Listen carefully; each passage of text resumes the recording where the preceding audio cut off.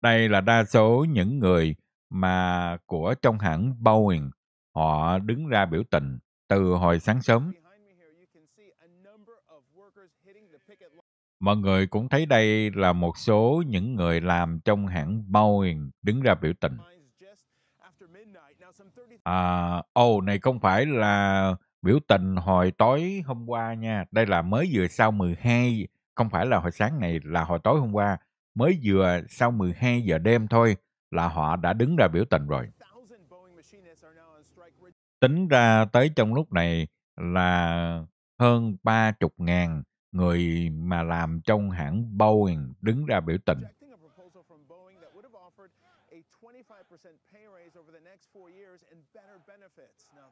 Hiện tại thì những người biểu tình đây là họ kêu gọi là hãng Boeing, là hãng làm máy bay lớn nhất trên Hoa Kỳ. Đó là đồng ý cho họ tiền lương lên là 25% trong vòng 4 năm sắp tới đây. Và họ đòi là à, 40% là trong vòng 3 năm thôi. À, chứ không phải là 4 năm, có nghĩa là 3 năm sau là phải lên lương nữa theo trong cuộc sống đó. Còn Boeing nói là lên 25% gì đó. Một bên là nói từ 25% trở lên thì mới tính, còn nếu không là không có tính luôn đó. Và họ cũng nói là làm sao mà Boeing phải đưa ra cái chương trình mà khi mà những người về hưu đó thì sẽ được lãnh cái tiền như thế nào ra làm sao thì phải đâu ra đó tiền 401k nữa. Đây là một trong những cái mới nhất mà của Boeing đang bị trục chặt. Liên tiếp Boeing bị rất là nhiều vấn đề. À, của Boeing đưa ra nói là họ thiếu nợ gì đó đủ hết uh, rất là nhiều cho nên sợ không có đủ chi phí liên tiếp mấy năm qua đó thì hai năm trời thôi là Boeing phải trả cho rất là nhiều tiền về của những cái người làm à, mà trên máy bay bị rớt máy bay rồi bị trục chặt cái gì máy bay là Boeing trả túi lui xua chân đó. Tính ra là Boeing làm máy bay ra thì bán rất là mắc tiền mà rất là được nổi tiếng hay cái máy bay Max 9 à, của Boeing đó. Tại vì máy bay bay một thời gian bao nhiêu năm đó là Boeing họ à, giống như họ bán máy bay cho hãng máy bay rồi máy bay bay thời gian là cũ rồi là đem ra là mua những chiếc máy bay mới cho nên anh máy bay của Boeing dục qua bên hoặc là bán qua bên nước ngoài.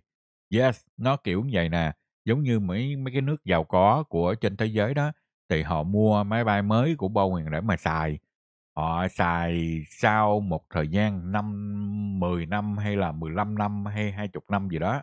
Đa số 10 năm là tính là máy bay cũ rồi.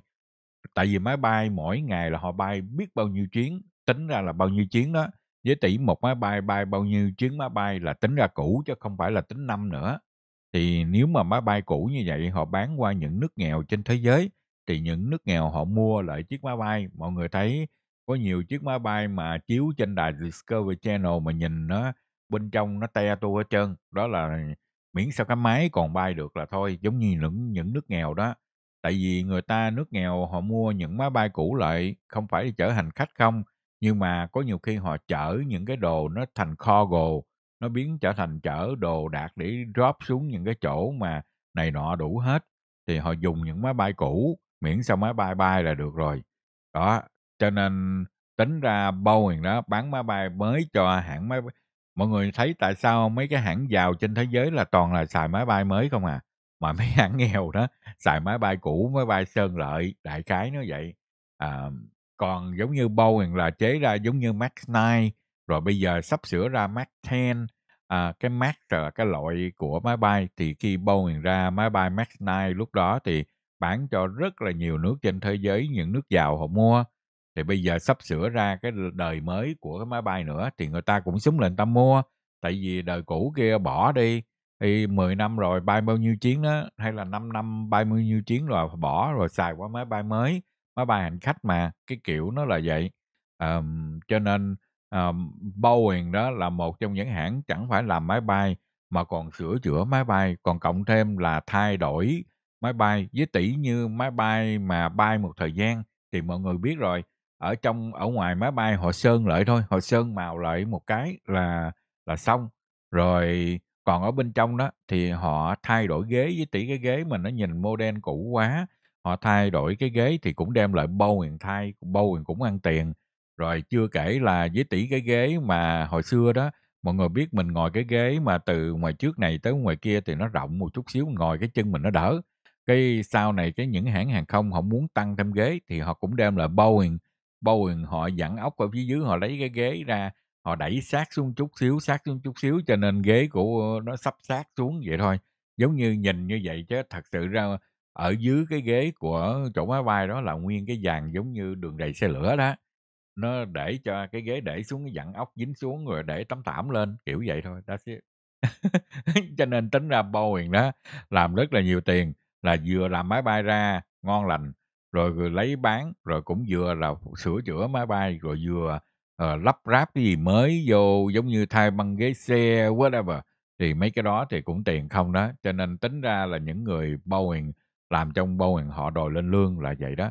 Họ nói uh, những người CEO của hãng Boeing đó toàn là tỷ phú triệu phú không à người nào cũng chỉ tỷ phú chân đó. Yeah cho nên bây giờ họ muốn a piece of pie họ nói họ lâu rồi chưa có lên lương cho những người dân họ đòi lên lương bây giờ tới ba chục ngàn những người làm đó. Boeing có tổng cộng là hơn 30.000 người làm ở trong hãng Boeing trên khắp Hoa Kỳ. Nhưng mà đây là tới 30.000 người đứng ra biểu tình đó. That's how go. Vài bữa nữa chúng ta biết thêm về chuyện này ha. Còn đây là của đài báo thêm cho chúng ta biết tin ngày hôm nay. Đây là của đài ABC News báo cho biết.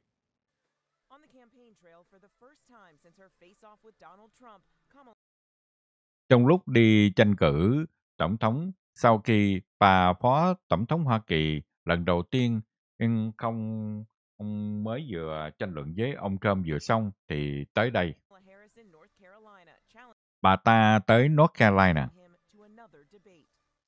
Bà ta cũng đưa ra thử thách kêu ông Trump là nên tranh luận với bà thêm một lần nữa.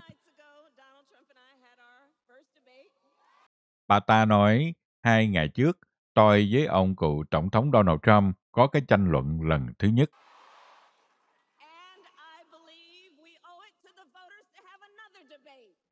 Và bà cũng nói bà tin tưởng đó là những người bầu của trên Hoa Kỳ, bà và ông Trump là thiếu phải tranh luận thêm một lần nữa.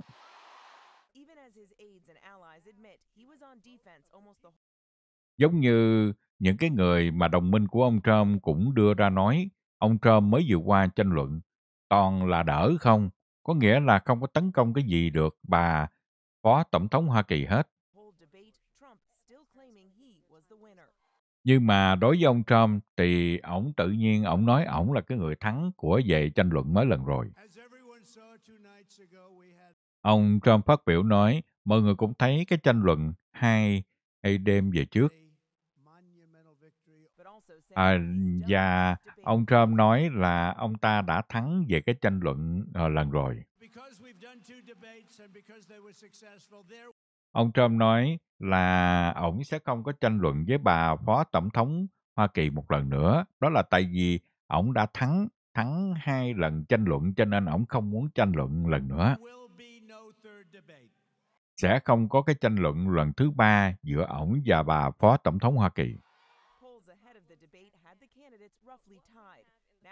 Hiện tại đó, lúc mà trước khi mà tranh luận giữa ông Trump với bà Phó Tổng thống Hoa Kỳ, thì theo cái poll đưa ra coi coi bên nào là bên thắng, bên nào là được người ta ủng hộ nhiều, cái gì, cái gì, cái gì. Thì hồi lúc trước đó là hai người bằng nhau. Ngay bây giờ nhìn thấy những người mà ủng hộ cho bà Phó Tổng thống Hoa Kỳ nhiều hơn ông Trump Bà Phó Tổng thống người ta ủng hộ là 47%, ông Trump người ta ủng hộ 42%. Về cái campaign của bà Phó Tổng thống Hoa Kỳ cũng báo cho biết đã ở người ta ủng hộ cho số tiền thêm là 47 triệu đô la trong vòng 24 tiếng đồng hồ sau khi cái tranh luận vừa xong thì người ta đứng ra ủng hộ cho bả thêm đó số tiền là 47 million dollar, 47 triệu đô. Đó là cái ngày mà người ta ủng hộ nhiều tiền nhất từ trước tới bây giờ ừ, khi mà bả bắt đầu nhảy vô đi tranh cử ở tổng thống trên Hoa Kỳ.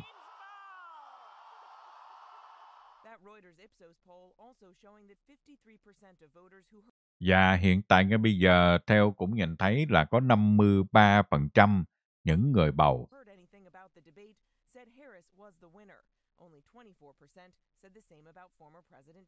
Um, những cái người này đó là um, đưa ra nói là bà phó tổng thống Hoa Kỳ sẽ được thắng uh, tranh cử um, um, tranh luận mới vừa qua đó là người ta nói là 53%, còn có 24% thì nói là ông Trump thắng.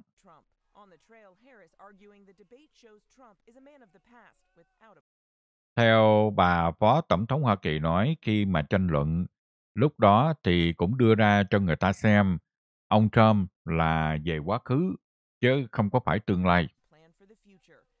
Và cũng nói ông Trump không có tính toán cái gì cho về của tương lai hết trơn đó. Một trong những cái là bà đưa ra nói về cái chuyện mà đưa tranh luận về healthcare sức khỏe.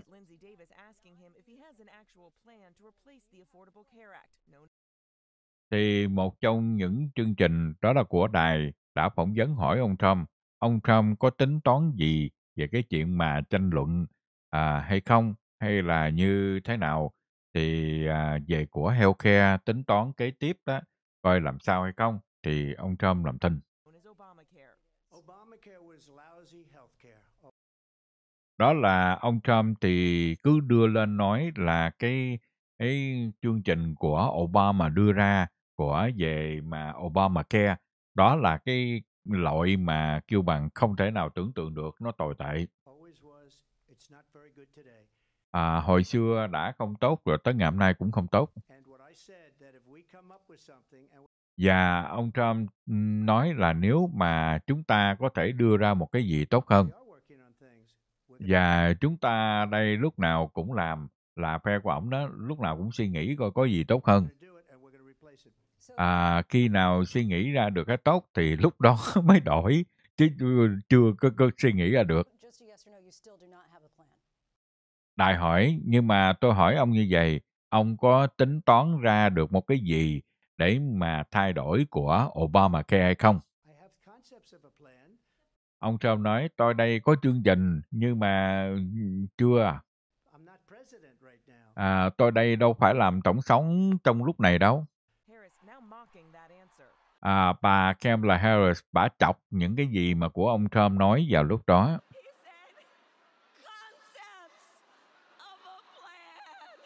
Ông Trump ông nói là ông kêu bằng có cái chương trình để mà sắp xếp ra của cái chương trình đó thôi chứ ông chưa có tính gì cho nó ông nói xấu thì ông nói xấu cái của uh, ông ờ, Obama cái chương trình mà giúp đỡ mà healthcare nói là rất là bèo cái gì đủ cho nó mà hỏi tới ổng thì ổng không có gì đưa ra cho nó ổng nói là ổng đang có chương trình đại khái vậy thôi tính toán thôi chứ chưa có chương trình gì chân ạ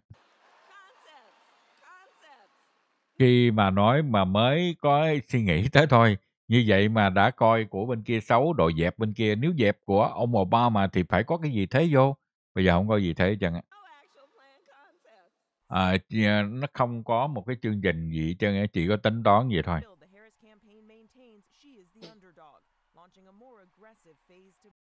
Đây là cái campaign của bà bà cũng đưa ra nói hiện tại bà đang nằm ở phía ở dưới ông Trump là đang khá, người ta ủng hộ rất là nhiều cho nên cao hơn bả rất là cao. Cho nên bả vẫn còn nằm ở phía sau đó. Và bả cũng kêu gọi người ta ủng hộ cho bả của về tranh cử đó. There we go. Đó là của đài báo cho biết ha. Hồi đài nào báo thêm nữa thì báo cho biết. Còn đây là của đài báo thêm cho chúng ta biết tin ngày hôm nay. Đây là của đài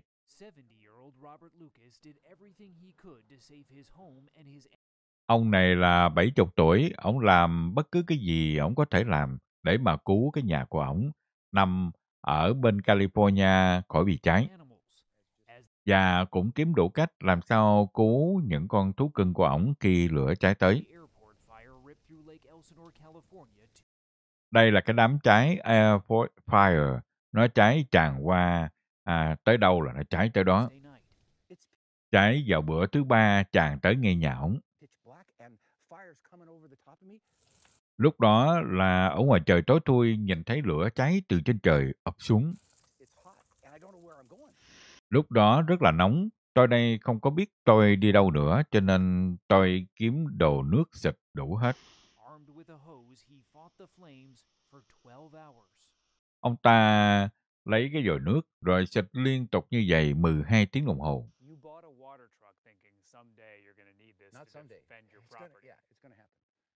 Um, đây là đài hỏi ông mua chiếc xe truck này đó là để mà khi một ngày nào đó sẽ dùng tới nó để để cho chặn lời đám cháy phải không? Ông nói đúng rồi, không phải someday, đó là mua để dành trước tao cũng xài thôi. À, cái nhà này là nhà của ổng, ổng tự xây lên. Ổng tự kêu bằng tự mình xây bằng tay của mình lên, cho nên ổng quý cái nhà của ổng. Cho nên ờ, đó là lý do ổng ở lại để mà kiếm cách để mà cứu cái nhà của ổng. Chữa lửa đang làm liên tục, uh, không có ngừng. Họ đang cố gắng dập tắt ba cái đám cháy lớn nhất xảy ra ở bên California. Khi mà nhìn thấy lửa cháy từ trên núi, núi nó tràn xuống giống như ngày tận thế như vậy nè, thì rất là sợ hãi. Cái đám cháy mà lớn nhất hiện tại ngay lúc này đó là Bridge Fire. Hiện tại nó nằm về hướng đông ở Los Angeles cách khoảng chừng 75 mile. Đã cháy hơn 50.000 mẫu đất. Lý do tại sao đám cháy này bị cháy ngay bây giờ thì vẫn còn được điều tra. Trong lúc này, nhà chức trách đang đang coi tìm kiếm về cái chuyện mà đám cháy live fire. Theo nhà chức trách nói là anh này, anh Justin, 34 tuổi.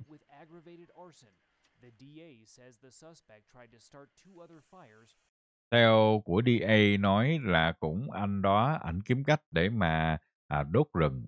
Ảnh đốt hai cái đám cháy khác nữa. Cũng trong cùng một ngày. Thay đổi khí hậu trên toàn cầu làm cho rất là khó khăn để mà chữa cháy. Khi mà à, thay đổi khí hậu trên toàn cầu càng ngày càng nặng, thì nó bị ảnh hưởng càng nặng nề đối với chúng ta. Mới vừa mùa đông qua thì rất là ướt nhẹp luôn. Rồi sau khi đó tới mùa hè nó nóng dã man làm cho khô khan ăn nặng nề ở bên California. Rồi sau khi đó khô quá nhiều, lúc mà nó gặp lửa rồi thì nó bốc cháy giống y như cái hộp diêm vậy đó. Thì bây giờ vẫn còn bị khô khô khan ở bên đó cho nên bây giờ nó cháy nó cháy vậy đó. Đó là của đài báo cho biết. Đài ABC News báo cho chúng ta biết. Còn đây là của đài báo thêm cho chúng ta biết tên ngày hôm nay. Đây là ông Top Cop của New York. Ngày hôm nay là hết công an việc làm. Ngay bây giờ là ông ta đang bị điều tra đủ hết. Ông ta và một số những người trong lính như ổng như vậy đang bị Federal chính phủ Hoa Kỳ điều tra. Theo ông thị trưởng của New York nói, đối với ổng thì ổng rất là ngạc nhiên về biết những cái chuyện này của ông này giống như tất cả mọi người thôi. Thì ngay bây giờ cũng đưa ra coi để điều tra. Tất cả những chuyện này rất là quan trọng.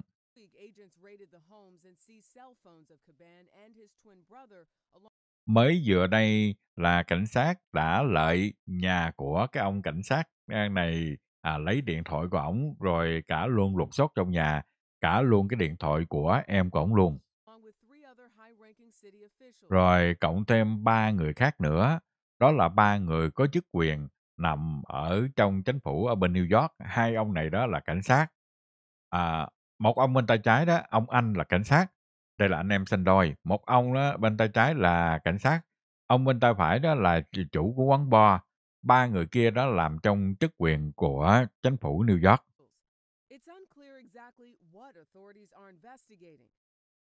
Đây là cũng không biết chắc chắn là chính phủ họ đang điều tra cái gì về tất cả những người này.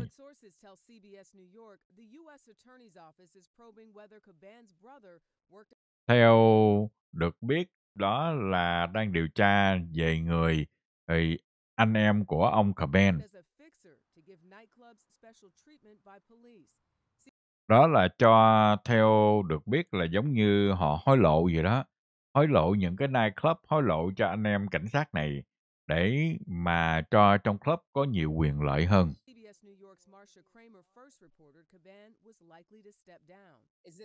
Và theo đài họ cũng báo cho biết gì chuyện này có lẽ là ông Caben là phải ngừng không có làm cảnh sát trong trưởng trong cái nhóm đó nữa.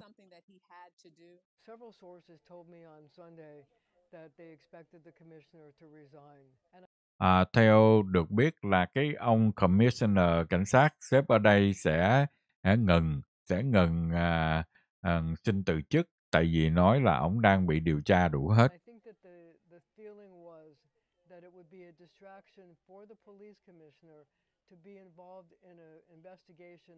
Đưa ra gian lận hối lộ gì đó thì ông này đang bị điều tra cho nên bắt buộc ông phải ngừng. Và ông ta cũng dính dám tới người anh em sinh đôi của ông nữa.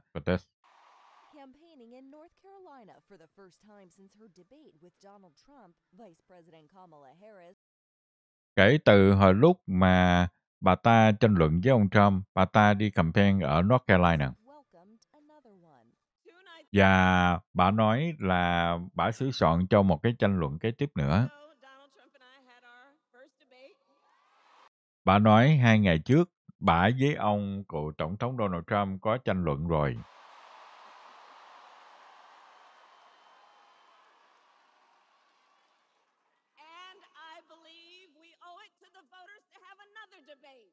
Và bà tin tưởng là à, thiếu nợ của những cái người mà đi bầu nên tranh luận thêm một lần nữa.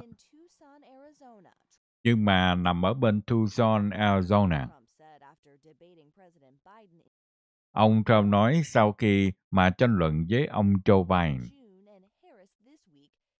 đó là vào tháng 6, còn đối với bà Kamala Harris là trong tuần này. Ông ta nói là ông ta xong không có tranh luận nữa. Trump nói là không có tranh luận lần thứ ba.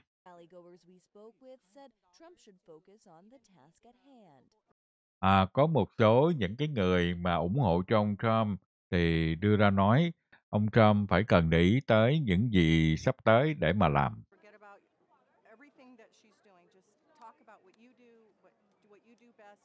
Bà này nói ông Trump hãy quên đi, quên đi tất cả những gì.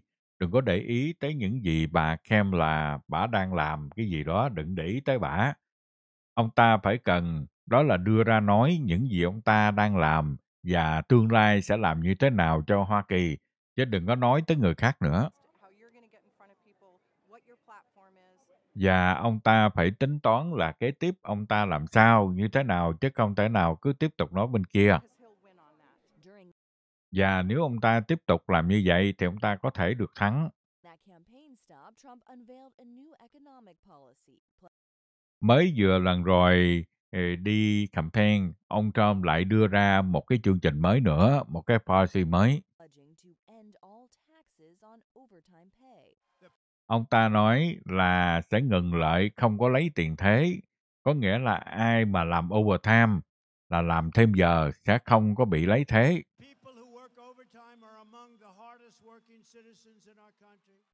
Ông Trump nói những cái người mà làm overtime đó là những người mà làm việc rất là chăm chỉ ở trên Hoa Kỳ thì không lấy thế đó.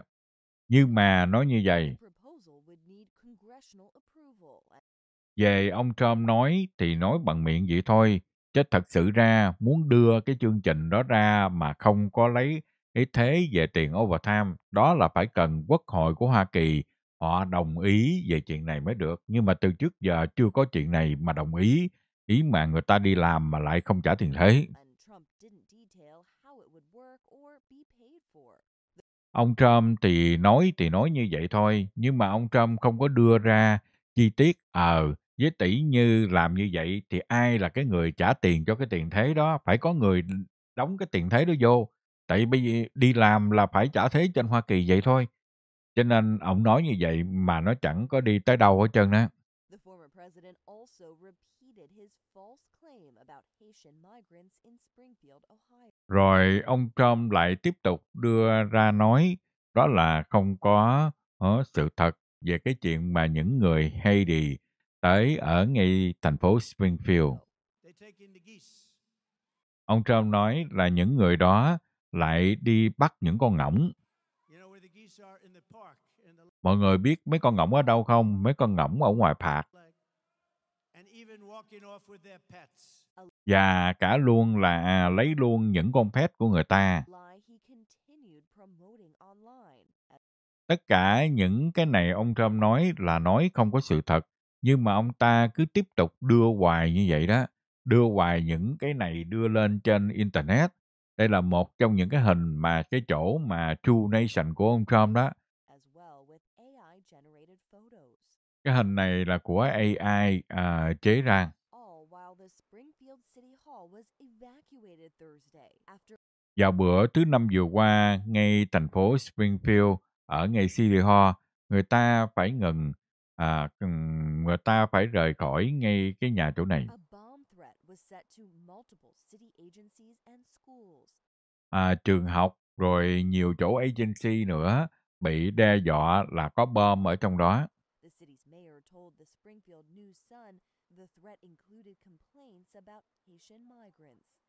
Tất cả những cái cầm complaint này cũng dính dám cho tới là, là có người cũng complain nói là về cái chuyện của những người Haiti à, sống ở đây. Ok, đó là của đài báo cho biết nha. It's getting weird now, right? Bây giờ đổi thừa luôn à, ăn chó rồi ăn ngỗng luôn rồi. đã đổi thừa ăn chó rồi đổi thừa luôn ăn ngỗng đó. That, that, that seem, don't seem nice. Yeah, không không thấy cái cho lắm đó. But ông Trump đổi thừa luôn đó. Còn đây là của đài báo thêm cho chúng ta biết tin ngày hôm nay. À, đây là của đài hay ABC báo cho biết how on with fast. À, take a look at this. warning from Vladimir Putin as President Biden appears ready to Đây là cảnh báo của Putin trong lúc mà ông Joe Biden đang sửa soạn. Đó là cho Ukraine ăn xài vũ khí bắn từ xa.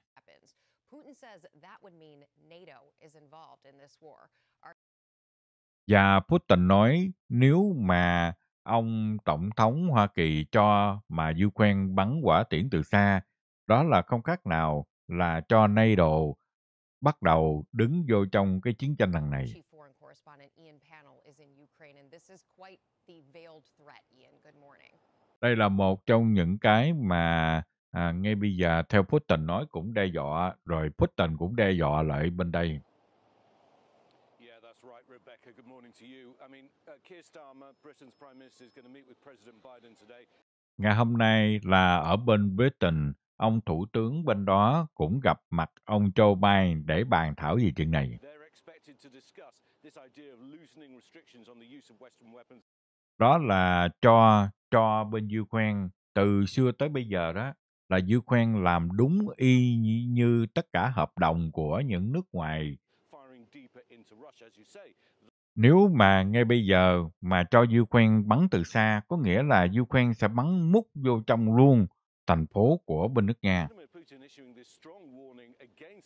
Ngày hôm nay là Putin nhảy ra đưa ra cảnh báo cảnh báo về cái chuyện mà nếu mà cho Ukraine bắn vũ khí từ xa. Và đây Putin nói làm như vậy không khác là NATO và Hoa Kỳ và cả luôn là đang chiến tranh với bên nước Nga chứ không phải là Nga chiến tranh với Ukraine không. À, Putin đưa ra đe dọa nói à, Putin nói là sẽ đưa ra tấn công như thế nào như thế nào ồ và tấn công lại nhưng mà chưa có nói cho biết À, đây là Putin phỏng vấn nói là nói rõ ràng là đây là không phải là đe dọa không. Nếu mà Hoa Kỳ và những nước bên NATO bên kia mà đồng ý cho bắn quả tiễn qua bên nước Nga thì nếu vậy thì Putin phải trả đũa lại thôi. Từ trước tới giờ chúng ta là cũng biết là Putin đe dọa từ xưa tới giờ rất là nhiều lần chắc không phải lần đầu tiên. Nhưng mà chưa từng bao giờ mà nó trở thành nó căng thẳng lên như vậy. Và đây là cũng một trong những cái làm cho uh, nước Nga uh, rất là khó chịu. Tại vì bây giờ xâm lược qua bên Ukraine thì không xong nhưng mà bây giờ lại bị đe dọa ngược lại đó Ukraine thì chuyên môn tấn công lại gần để mà bắn bên Nga, còn Nga là chuyên môn bắn từ xa tới Ukraine. Còn đây là của đài chiếu sơ cho mình xem ông Đức Giáo Hoàng có mặt ở bên Singapore.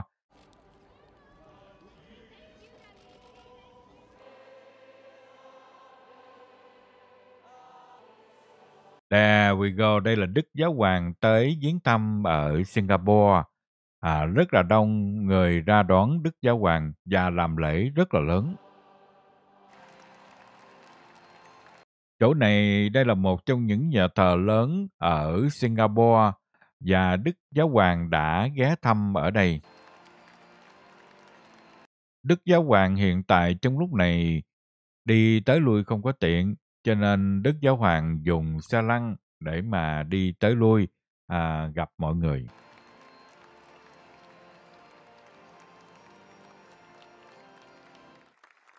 Um, there we go, đó là của ở đài nha, để nghe Đức Giáo Hoàng phát biểu chút xíu đây, take a look.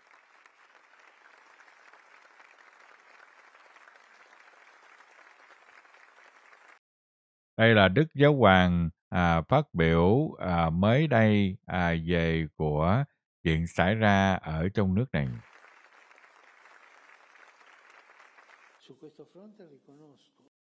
À, đây tôi đây muốn recommend về tất cả những cái này. À, đối với cảnh sát và tất cả à, đây là chung là với nhau à, ừm, và hy vọng đây là một cái là à, chung lại hết ừm, để mọi người tụ lại với nhau. più deboli e auspico che venga presentata particolare attenzione ai trong cái trường hợp như vậy à, đó là chúng ta phải làm sao ờ, ờ, ừm, giúp đỡ cho những người nghèo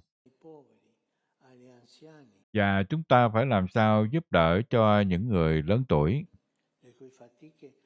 À, đối với cái foundation này thì đây là một cái rất là tốt cần phải làm. Và đây cho những người của Singapore à, à, chúng ta thấy ngày hôm nay và chúng ta à, hãy bảo vệ cho tất cả à, những người à, cho của Singapore. À, ngày hôm nay chúng ta thấy là những người đứng chung lại với nhau phải làm việc chung với nhau. Đây làm như vậy thì cho cuộc sống và cả luôn tất cả hội đồng à, tốt chung với nhau. Rồi tới đây ngừng. Kêu, bye bye